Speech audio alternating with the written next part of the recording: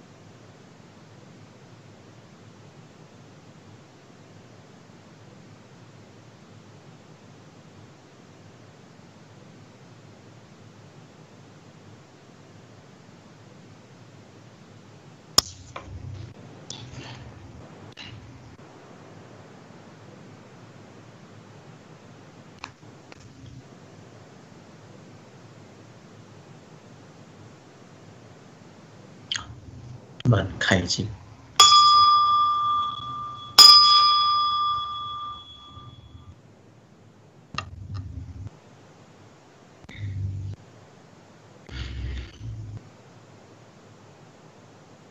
好，我们大家请合掌，请合掌。我们来称念本师释迦牟尼佛算称啊。南无师释迦牟尼佛。南无本师释迦牟尼佛。南无本师。释迦牟尼佛啊，尊敬的诸位同修、诸位护法，特别是我们雪梨净宗学会的总干事曾居士，祝大家早上好，阿弥陀佛。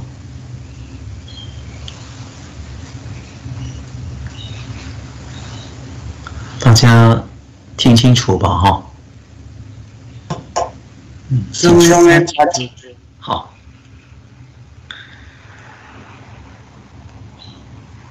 这个时间呢，过得很快。我昨天看业力啊，不知不觉我在雪梨啊，将近要住了五个月。呃，蒙大家的慈悲，所以啊，大家照顾的很好，特别的，我们的正太啊，啊，特别的关心。没想到啊，这个冬天有这么冷，啊，以前呢，那些冬天的衣服啊，通通啊带回印尼了，啊，所以那个没想到。没想到回到澳洲被关注了，啊，因为这个疫情啊，回不了。想要回啊，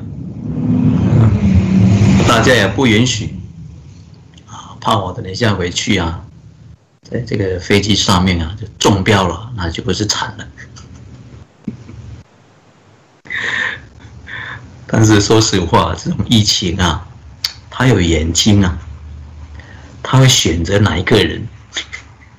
所以你要小心哦。今天你多吃醋啊，不是吃素，不是吃醋啊，吃素啊，讲错。啊，不是多吃醋哦，吃素啊，这个有时候语音啊表达不清楚啊，这个会听错了。啊，吃素哦，吃素，只要你吃素，你念佛啊，特别你持戒啊，特别持五戒啊啊。这些疫情啊，不会找你的，所以啊，不敢回去啊，所以照顾的非常好啊，谢谢大家，啊，特别是我们的正太，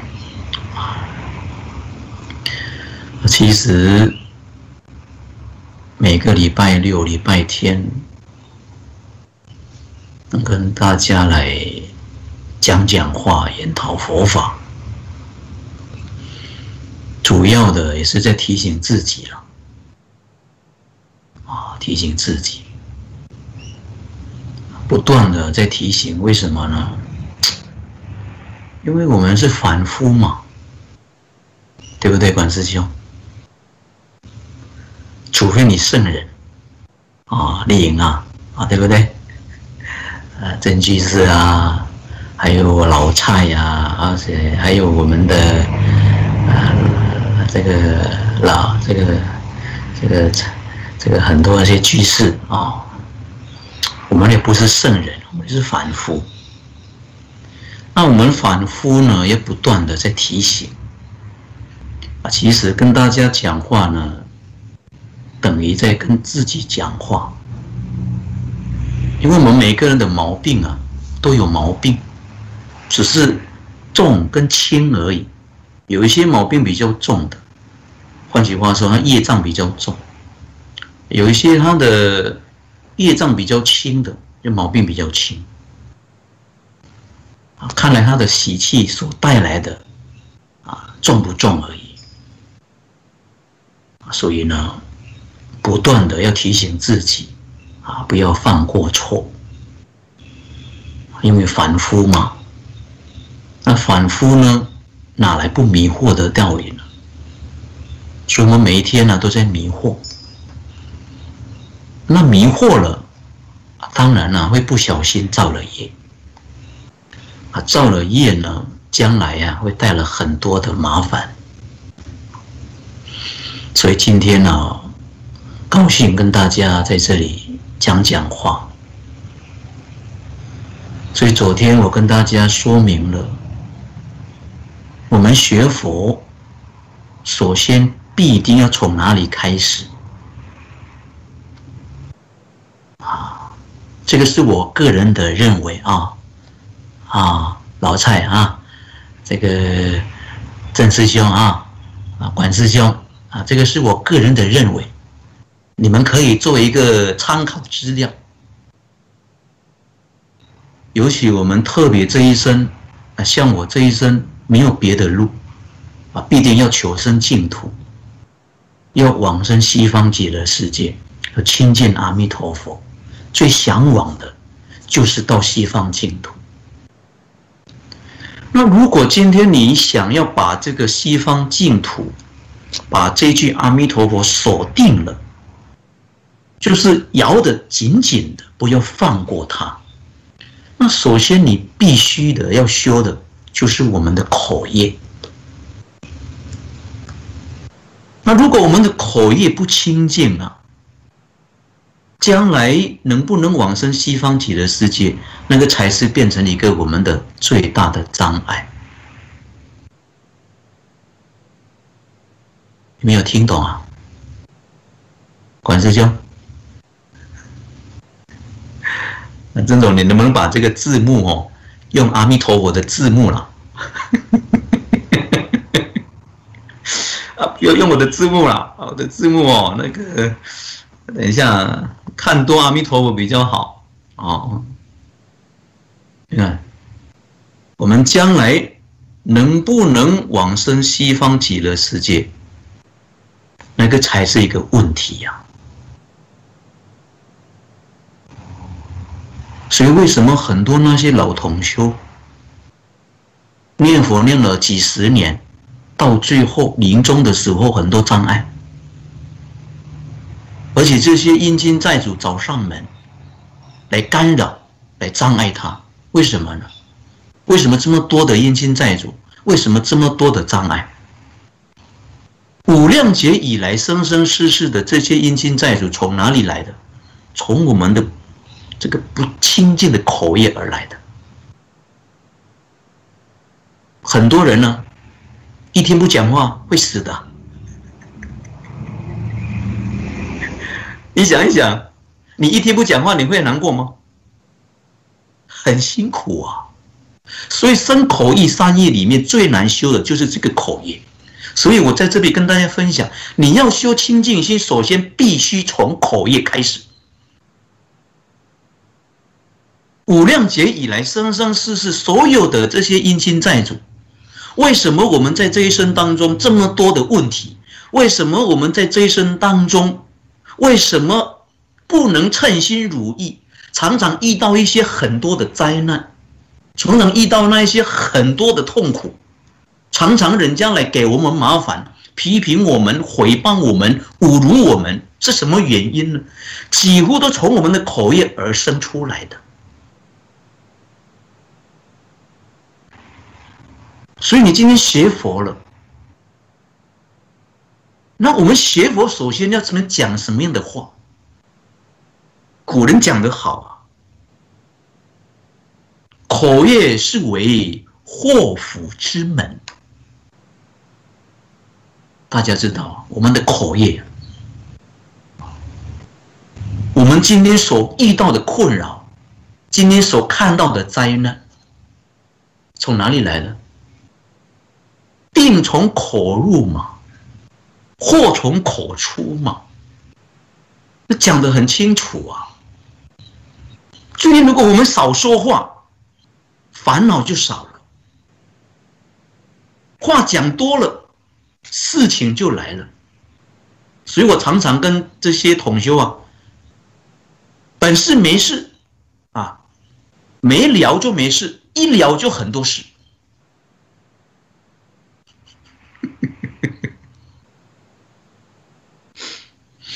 所以，尊敬的这位同修大德，你想一想。如果今天我们不修净业，从口业开始，将来我们往生西方极乐世界，阿弥陀佛能够接引我们，但是西方极乐世界菩萨们不能接受我们，为什么呢？你的口业不善嘛。阿弥陀经里面大家都清楚这个理论，大家都知道，念得很熟啊，这个理论大家明白啊。西方极乐世界是诸善善人聚会一处，你言语不善了，你怎么能够跟他们相处？那不可能的事情。所以，尊敬的这位同修大的这个问题，我们很重要啊，这个很主要的、很关键，能不能得生净土，将来能不能往生西方极乐世界，跟我们的口业有关系。所以你看，昨天跟大家讲这个故事讲了一半，讲什么故事呢？冬瓜和尚嘛。冬瓜和尚为什么称为冬瓜和尚？因为他喜欢吃冬瓜嘛。你看师傅，你看很多人就称为啊，不教我写巫师了啊，尤其我们在雪梨，你看住久了。如果住到明年呢？我看以后啊，管师兄也不会教我写巫师了，叫什么呢？哎，炒饭法师。我为什么喜欢吃炒饭？很多人问啊，师傅，你为什么喜欢吃炒饭？不忘本嘛，很多缘故。说实话，真的，以前生活很苦啊。真的很苦！其实我们的家庭是非常好的，这个不能讲啊。妈妈往生了，财产全部被我们的亲戚霸占了，全部被霸占了，生活很苦的，所以呀，每一天都吃炒饭。哦，那你看东光和尚啊。你想一想，他怎么成就的呢？他还没出家之前呢，他有一个弱点，他的一个毛病很大。他的什么毛病呢？口业。大家必定要知道，为什么？呃，他以前还没出家之前，他的毛病啊，最严重的啊，最大的弱点啊，就是他的口业。不好，所以出了家啊，在这个杭州清朝嘛，杭州，在这个华严寺里面，出了家之后，第一天没有别的做，每一天做什么？逛大街，每天逛大街，啊，早出晚归，每天就是这样的。一大早就出门，很晚就回来，每一天逛了几年，十年了。所以啊，很多那些志同道友啊，很多那些朋友啊，特别的是慧照法师。慧照法师啊，常常讲这个东光和尚，他说：“法师啊，他说东光法师啊，你每一天呐去逛街，不好好在佛堂念佛、诵经啊、禅坐念佛啊。”你怎么能够修行呢？你看哦，慧照法师每天常常讲这个事情。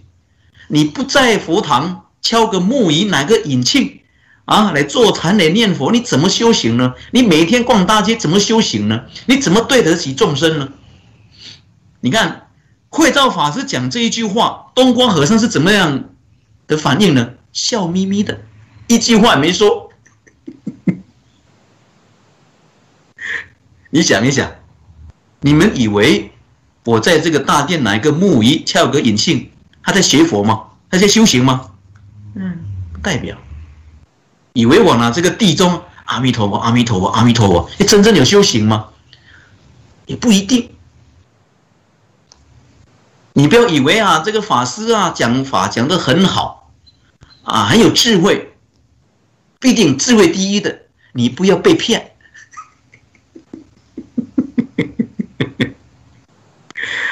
哦，你要清楚一点，啊，什么样的人真正修行？老和尚的人，像老和尚那样的人，真有修行，值得学习。像我们师傅上人老和尚，他真的有修行的人。不要以为这样，要有智慧去判断。哦，那东光和尚呢？那有一天呢，他就跟慧照法师啊，因为十年了嘛，刚好是年底，他就跟慧照法师讲一句话，他说：“慧照法师啊，你明年正月初六啊，记得哦，明年。”正月初六，你能不能来到我的疗房一趟？那这个慧道法师啊，就问东光和尚：“到你的疗房干什么？”啊，对不对？啊，然后呢，这个东光和尚啊，就跟慧照法师说：“正月初六，我要往生西方极乐世界。”然后慧照法师很别扭啊。他很别扭啊，很不甘愿。跟我什么开玩笑呢？你每天逛大街，不在大殿念佛，你怎么能够往生西方极乐世界呢？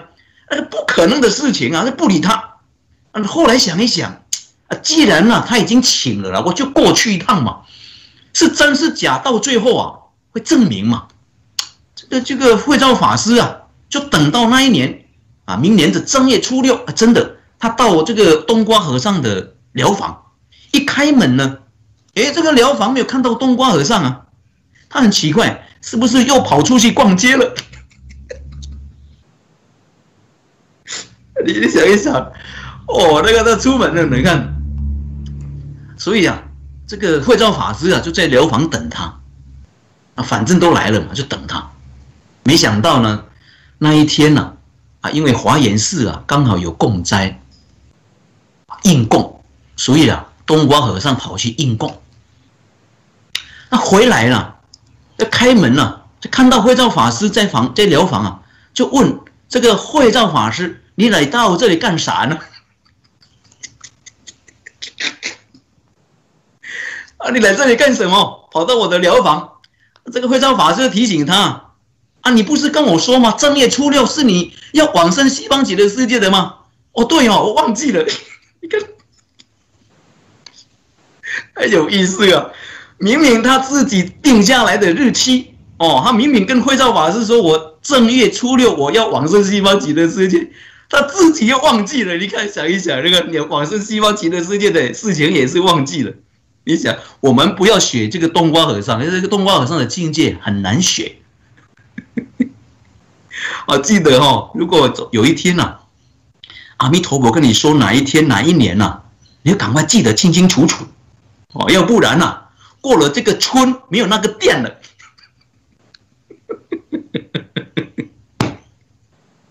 呃，错过这个机会啊，就很难了啦。哦，你看那个东光和尚啊，就提醒哎，对哦，我今天要往生西方净土哎。哦，就慧照法师说谢谢谢谢，你还好提醒我哎，你看 你看，真的哎。后来呢？这个东光和尚啊，啊，东光和尚就跑去更衣，啊啊，这个这个这个更衣啊，换衣服啊啊，沐浴啊，这个沐浴更衣啊，换衣服，然后呢烧香礼佛，啊，烧香礼佛完了，他就坐下来，坐在这个这个慧照法师的对面。啊，就请慧照法师啊来念佛，啊，两个人就念佛，念了十几声，念了十几声呢。东瓜和尚就跟慧照法师说：“好了，阿弥陀佛来了，西方极乐世界现前了，我现在要走了。然后东光和尚啊，就跟慧道法师说：“还走之前呢，我有一句话啊，请求你把它写下来。”他说有一句话，请你啊把它写下来。然后呢，东光和尚啊就讲了一首诗，哪一首诗呢？他说：“啊，终日走街坊啊，对不起啊，我本来这个稿子呢会给正句式的，忘记了。”下个礼拜再来给大家。终日走街坊，心里念佛忙，世人都不是，别有一天堂。什么意思呢？终日走街坊，我每天都是逛大街啊。虽然我在逛大街，跟大家相处。心中念佛忙，阿弥陀佛从来不离开我的心，阿弥陀佛从来不离开我的口。我跟这句阿弥陀佛，把这个生活里面已经融合一体了。你看，东光和尚把这句阿弥陀佛这种的境界，把这句阿弥陀佛已经融合到这个生活里面，融合一体了。我们也是一样啊。我们不管忙什么，在工作什么，在赚钱，做这什么样的事情，我们必定要把这句阿弥陀佛跟这个生活里面融合一体。要不然，你看，我们遇到逆境的时候，第一句话是什么？发脾气，不高兴，不顺眼。人家第一句话遇到逆境是什么？一句阿弥陀佛，心里念佛忙嘛。世人都不是啊！我所所遇到的这些街上的人，我哪一个人都不认识。别有一天堂，什么意思呢？这一句话我就不讲了，留给大家去领悟。为什么不讲呢？啊，天机不能泄露。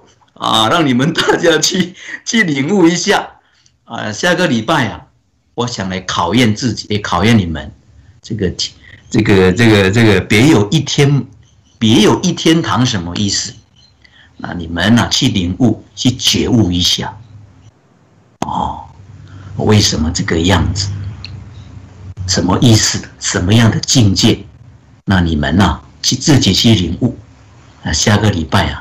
你就跟大家，跟我啊，跟大家来报告啊，把这一句话是什么意思啊，留给大家。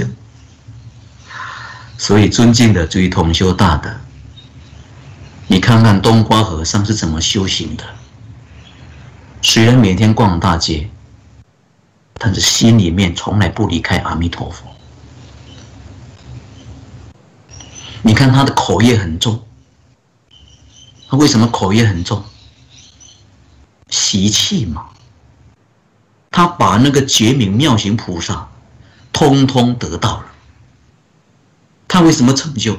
少说一句话嘛，多念一句佛，打得念陀时，虚如法身火。他真的得到法身火。他把自己的打得念头时，把自己这些不善的念头。通通的放得干干净净的，用什么方法把这些不好的、不善的念头放得干干净净的呢？用这一句阿弥陀佛，多念一句佛。为什么这一句佛它能够起作用？少说一句话。为什么呢？因为他不间断，不夹杂，不怀疑，所以他成就了。所以尊敬的追同修大德，我们学佛不在于我们懂多少，你念多少佛号，你念多少部的经典，你拜多少的佛，不在这里。关键在哪里？你要懂得怎么修，怎么学。啊，像像我常常啊，有时候被这些老同修啊，老同修学佛学了二三十年了，对经典啊非常深入，有时候请我去吃饭，然后呢讲讲一些佛法，跟我讲很多事，甚至于有时候提出来《金刚经》的一些境界，《金刚经》是最难学的，有时候他们提到什么呢？提到因无所住而生起心，这种的境界怎么学呀？甚至于有时候讲到无我相、无人相、无众生相、无寿者相，这种的境界我们没办法去学习。我告诉他们呢，我告诉这些老同修，我跟他们讲，你讲来讲去，到最后还是凡夫。没有用处。你讲了这么多的道理，讲来讲去，《金刚经》也好，《法华经》也好，《楞严经》也也好，讲到这些的大乘经的经典，讲到最后，你还是凡夫啊，还不如啊，老老实实念这一句阿弥陀佛。将来到西方极乐世界见到阿弥陀佛，什么事情都解决了。为什么呢？有名演说大师所讲的嘛，“但得见弥陀，何愁不开悟呢？”你见到了阿弥陀佛，什么样的经典全部都通了。不要浪费时间，我们也没有那种根性，我们也没有那种善根。也没有那种因缘，我们的根性跟不上古人，老老实实念这句阿弥陀佛，将来到西方极乐世界全部解决了。那干嘛讲了这么多呢？好像在研讨什么？研讨这个太空船怎么会飞到太阳去？哦，那这个月亮去了，什么星球去了？我们每天在研究它怎么飞的，它怎么做的，浪费时间呢？那干嘛呢？啊，干脆啊！哎，管师兄来领众我们念佛啊，不是更好了吗？浪费时间，没必要的。所以，尊敬的诸位同修大德，从这边跟大家提醒：你要学佛，你要得到好处，起码将来如果你们不到西方极乐世界，你也不会到三恶道去。首先，必定先把我们的口业。修清净啊！你能够不造口业，就是等于在赔自己的福报。你不造口业，等于在培养自己的德恨。你不赞扬别人的过错，就是等于在帮助自己的过错。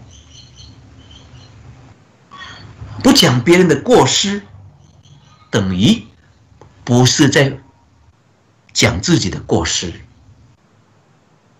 所以尊敬的诸位同修大德，那我们必定要认真去考虑、去思考，我们每天有没有常常那些用那个不善的语言，用这个恶口、用这个绮语、用这个两舌、用这个妄语来过生活、来处事待人接物。如果今天我们常常用这种的语言不善的语言，那我们赶快改过，呃，将来呀不会产生很多问题。为什么现在的人会得到很多舌癌、活癌？我昨天不是跟大家讲过了吗？有一个张医生是癌症的医生，他看到很多为什么最近很多得这个活癌跟舌癌，什么原因？造口业嘛，喜欢造口业的人，将来呀要小心了。如果有一天呢，我们得到这个舌癌、活癌呀，那个真的像如同一把剑呢，插在我们的喉咙啊！你想一想，那个苦不堪言的。如果得了舌癌，你想一想，你想要治疗，你必定要把你的舌一块一块的剪掉。所以地藏菩萨本愿经所讲的。无蛇百蛇，叫做无蛇百蛇报。所以希望大家，我们必定要清楚，哦，要了解学佛要从哪里开始，听懂了吗？啊？呃，我们的郑总能不能把这个大家荧幕，啊，荧幕啊，看大家的荧幕，你不要看我一个人，看大家的荧幕，啊，这样嘛，看清楚，对不对？你看我们的老蔡也不知道跑到哪里去了，啊，这个你看管师兄也看到了哈，你看阿阿华，啊，对不对？所以啊，记得哈。过去的毛病必定要改，不改不行。所以啊，祖师大德常常提醒我们：求有不得，反求诸己。只有不断的反省，才能够过得那种幸福快乐的人生。你要过那种智慧的人生，很简单，一个凡夫跟一个圣人。的区别在哪里？觉悟跟迷惑而已。你觉了，你就是圣人；你迷了，你就是凡夫。一念之间而已。你要过什么样的人生？啊！所以我妹妹啊，我的妹妹，时常啊，问我一件事。因为我们以前的家家产被我们的亲戚霸占。过了生活很辛苦，后来长大啊，上班了，工作了，自己有事业了，赚到钱了，以为可以享受了，没想到跑去出家。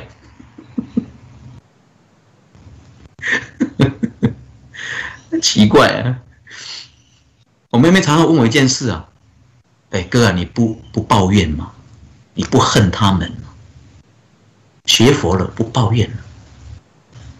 为什么不抱怨？明白道理了吗？宇宙人生的真相了。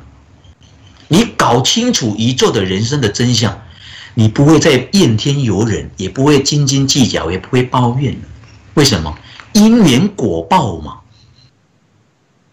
今天你受什么样的果报，跟你过去生所种的什么样的因，你能够接受，你能够明白清清楚楚的，你还能够计较吗？所以心呢就安了，心安了就得定，得定了就开会了。所以呀，你要过这个智慧的人生，这个幸福的人生，没有别的路，必定要开我们的智慧。这个智慧要从哪里开？从宇宙人生的真相去了解，从宇宙人生的真相透彻的去明白。你明白之后了，你就懂得因缘果报。你明白因缘果报，你怎么能够还对别人起了一个不善的念头呢？那个不可能的事情，因为我们今天所受的果报跟过去生中都有关系的。所以了凡四训告诉我们：欲知来世果，今生做的事，清清楚楚的因果通三世的。所以我从来不抱怨，我反而过得很幸福。但是你看，看到这些人每天呢家破人亡，我们也不能祝福他们嘛。这个就是他种的因嘛。所以啊，吃亏是福没关系，我们在这个社会吃点亏没关系，那个是福。人家怎么对待我们没关系，能够忍就忍，因为我们的方向目标。最主要的不是这一些，我们的方向目标就是将来要到西方极乐世界的那个才是关键。所以有一天呢，老和尚啊，有人问他，他说：“师傅，你怕不怕死？”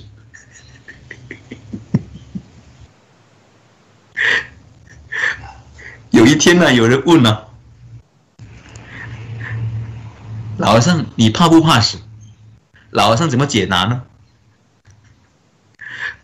今天想跟大家来分享一个故事，这个故事很精彩，就是老和尚亲自经过的。我不知道大家有没有听过，非常精彩啊！我想跟大家分享，希望有这个时间，因为剩下五分钟啊，如果来不及呀，啊就留下下个礼拜。那有一天呢，有人问老和尚，他说：“老和尚，你怕不怕死？”老和尚怎么解答呢？老和尚说：“我不怕死，甚至于我喜欢死。”你看老和尚，你看我那种心呐，对生死已经看得很淡了，放了干干净净了。一般的社会呀。把这个死字啊，看着什么？看着不吉利的，所以每次提到这个死字啊，他们很不喜欢，因为死就是不吉利的。所谓贪生怕死啊，你要生又生不了，死又免不了，每个人就是有这种的现象。哦，每个人都有。所以印光大师，你看为什么把这个“死”字挂在门口，提醒自己嘛？啊，像我以前呢，啊遇到一个巨士，啊，因为他常常坐飞机，又怕高，又怕坐飞机，他问我师傅，啊，这个哈，这个我坐怕我怕高啊，坐飞机很害怕，啊，人哦一倒霉哦，运气不好啊，什么事情都能够发生啊。所以问我这个事情，哎，师傅有什么秘诀啊？这个坐飞机哦，能够安安稳稳的、安安稳稳的哈到达，能够平平安安的回到家里。他问我这个事情，我跟他讲，你问错人了，应该你去问谁呢？你应该是问悟行师傅。悟行师傅一个礼拜啊，飞两个国家，你看他老人家每天飞机啊都在飞。啊，飞得很过瘾，很舒服啊！如果他一天不坐飞机，很辛苦的，真的。哦，我问他啊，什么？我说师傅，师傅，你一天不坐飞机，辛不辛苦？很辛苦。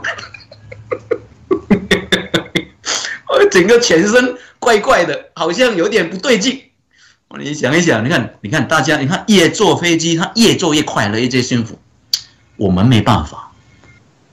哦，所以我就跟他讲，你问错人。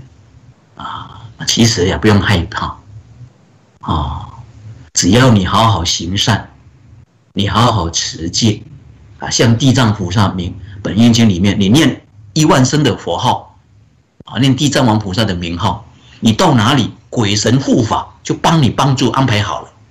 你比如说，我要到从雪梨到回印尼，我我念一万声的佛号，那地藏菩萨就派这个护法神呢，帮你安排好了，平平安安的到达你的目的。比买那个保险更安全，哦，所以你要安全呢，多念佛啊。那老和尚为什么不怕死呢？下面的故事很精彩啊，为什么不怕死呢？等下个礼拜再跟大家分享。哦，因为师傅今天呢，呃。要赶快吃饭啊！等一下一点啊，要跟印尼的同修啊，这个共修啊，这个共修时间呢啊，定在一点了，所以现在要吃饭啊，所以啊，这个今天呢就跟大家分享到这里啊，记得把我们的口业要好好来修啊。学习普贤老和尚啊，说好话啊，赞叹别人啊，不要去讲那些不善的语言啊，不要讲啊，不要讲，该讲的就讲，不该讲的我们不要讲，记得要保持我们的口业，因为这个口业呀，就是我们五量劫以来生生世世啊。所带来很多的麻烦，所以你要学佛，你要获得学佛的功德利益，你这一生能够活得平安、吉祥如意，首先少说一句话，多念一句佛。这个道理我们必定要知道。希望大家去思维、去思考，好，去想一想，我每一天二十四小时，每一个月、每一年、每一个礼拜，我的口业有没有清净？我的口业有没有啊善的？啊，如果我口业都不善的，赶快来改过，改变自己。只有改过自己，我们的前途才能够一片的光明。哦，如果你想你要前途一片的光明，没有别的路，改变自己。那个在吃智慧，所以改变别人还不如来改变自己。这个就是生活最有智慧的。好，谢谢大家啊！今天要讲错的地方，就跟大家啊抱歉啊，请大家啊多念佛，无量光，无量寿啊！谢谢大家，阿弥陀佛，阿弥陀佛。好，接下来我们来回向啊，等一下师傅啊，这个。念弟子啊，你们可以念你们自己的名字，或者你们要念皈依的名字、妙音也都可以哦。啊，看个人。弟子学悟，至诚恭敬拜拜，以此诵经念佛功德回向。累劫冤亲债主，往生西方极乐净土，回向雪梨净宗学会以及四众弟子，无量光无量寿，尽虚空遍法界一切众生，以及回向师父上人。上净下空，老和尚，无量光，无量寿；上定下圣长老，无量光，无量寿。愿以此诵经念佛功德，回向世界各地疫情早日化解，世界和平，国泰民安，风调雨顺。因疫情而生病的众生早日康复，因疫情而罹难的众生早日超生净土。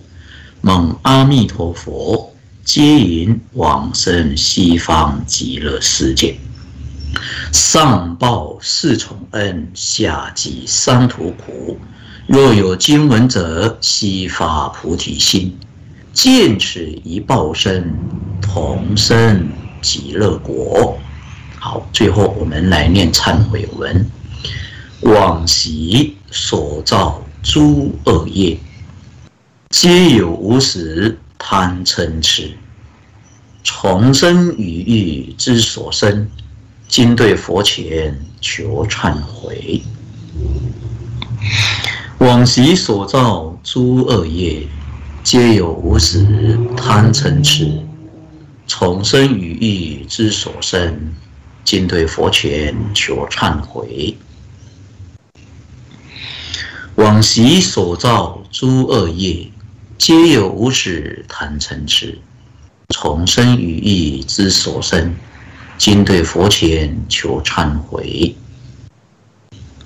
好，谢谢大家，祝大家无量光、无量寿。啊！管师兄、老蔡、丽莹、郑居士。啊，谢谢大家，你们啊，阿弥陀佛，阿弥陀佛，佛，阿弥陀佛。